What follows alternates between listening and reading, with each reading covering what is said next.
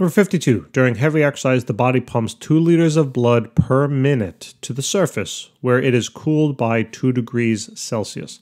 What is the rate of heat transfer from this forced convection alone, assuming blood has the same specific heat as water and the density is uh, 1050 kilogram per cubic meter?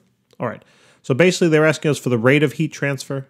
All right. Now they don't know. They don't. You know, rate of heat transfer. Do they want that in Q? You know, in joules per second. Do they want that in or joules per minute? I don't know. I mean, they give me per minutes here, so I'll probably just solve it per minute, and then you can convert it to second, you know, per joules per second if you want, and that would then be the answer in watts. But you know, they're all the same, right? Would you rather a hundred cents or a dollar? shouldn't matter. Uh, except you might say, well, I really don't want to deal with the 100 cents because that's just a pain in the neck. And uh, there is a difference there. But I mean, in terms of value, there is absolutely no difference. Um, so, okay, that out of the way, let's calculate the heat transfer. First, let's find the first, we know heat transfer when we're talking about changes in temperature.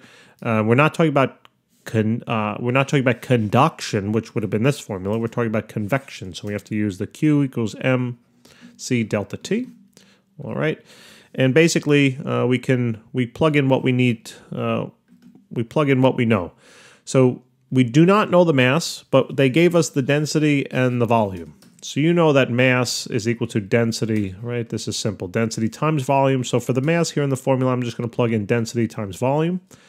Specific heat is, they gave it to us, and then the change in temperature they told us was 2 degrees Celsius. So we can simply just plug it all in. The density is 1050. The volume was 2 liters. Now be careful, this volume here is going to be cubic meters in terms of the density. So let's convert this into cubic meters. All you got to do is take the 2 and then divide it by 1,000. Okay. And then multiply, uh, yep, that's great. So that takes care of that first term. And then multiplied by the specific heat, they told us it's that of water, so 4184, it's liquid. And then the change in temperature was 2 degrees. So voila, let's just calculate.